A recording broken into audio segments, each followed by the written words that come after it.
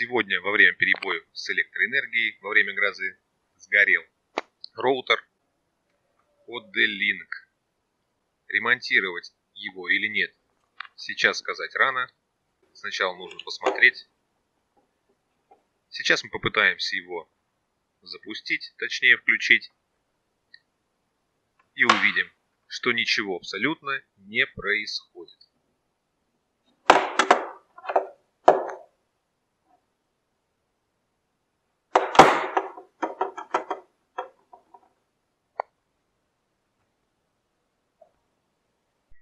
Давайте разберем роутер и посмотрим, что же у него внутри. Кстати, блок питания я проверил заранее, он рабочий. Значит, проблема кроется здесь. И как мы видим, сгорело два микроконтроллера. Или как их называть, не знаю.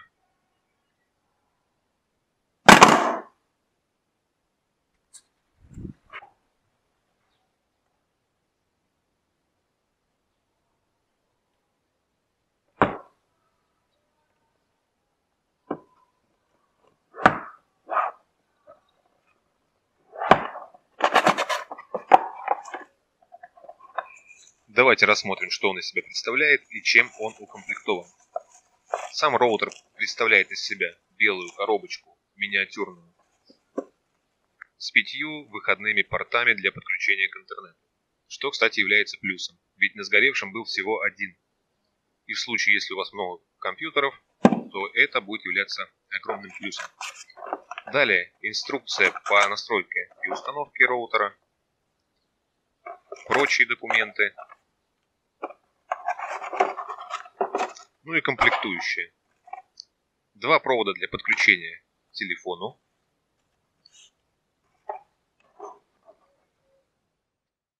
Далее мы видим блок питания для подключения роутера. Кстати говоря, он намного меньше, чем у того, который сгорел. И провод для подключения к интернету. Также розетка для подключения телефона к роутеру.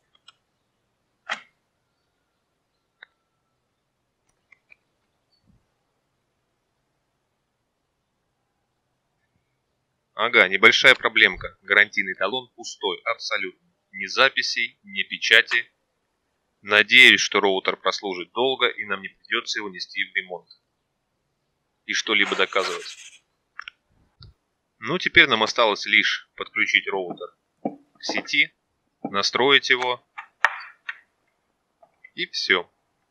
Подключим блок питания, телефонный провод из розетки кабель с интернетом на switch, либо же сразу в компьютер. Запускаем. Ну и теперь осталось только лишь его настроить. Немножко о преимуществах. Во-первых, это большее количество гнезд для подключения компьютеров, наличие Wi-Fi адаптера, ускоренная обработка интернет-запросов за счет технологии DSL 2,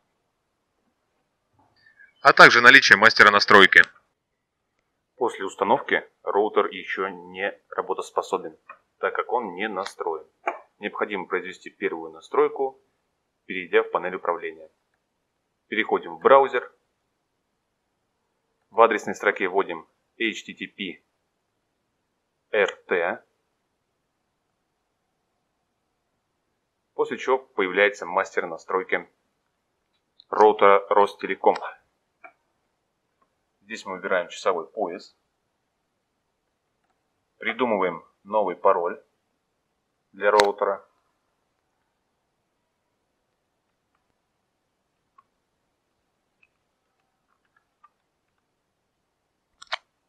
Попробуем оставить старый.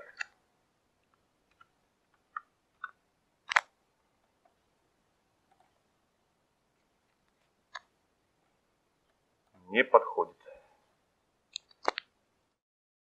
Пароль должен содержать цифры, буквы, и длина должна быть не менее пяти символов. Хорошо.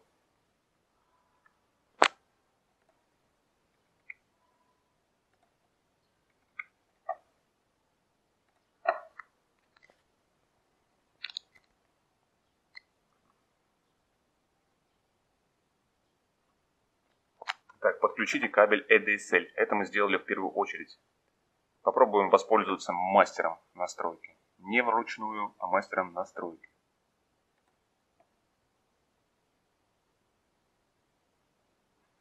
Выберите регион. Центр. Выбирайте свой регион.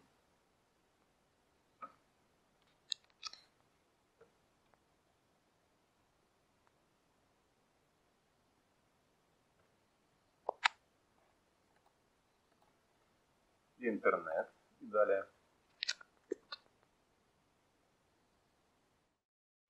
Далее нам понадобится логин и пароль, выданный Ростелекомом на вашем тарифе. Вот такой листочек у меня был. Здесь есть и логин, и пароль от тарифа Ростелеком. Именно телефонного интернета.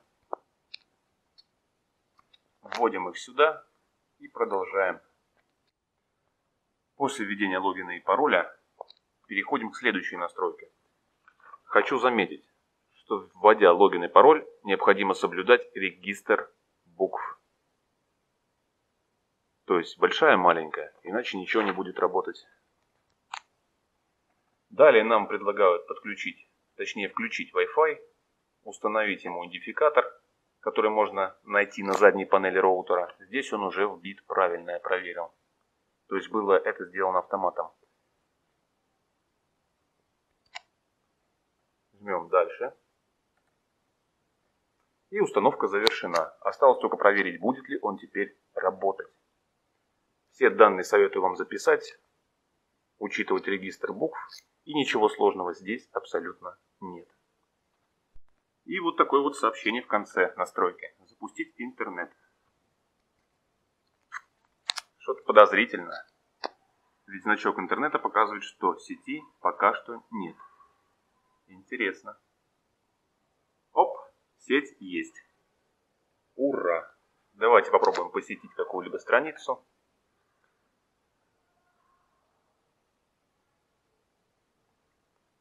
Будет ли работать это устройство?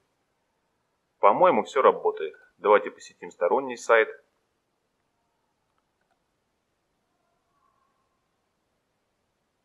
Ну что ж, ребят, вроде все работает. Mail, к примеру.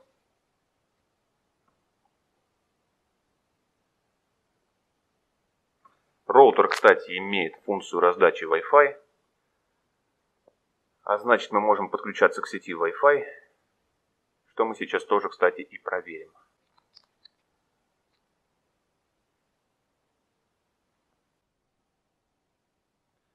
Вот и обнаружилась сеть на телефоне, если видно, защищенная.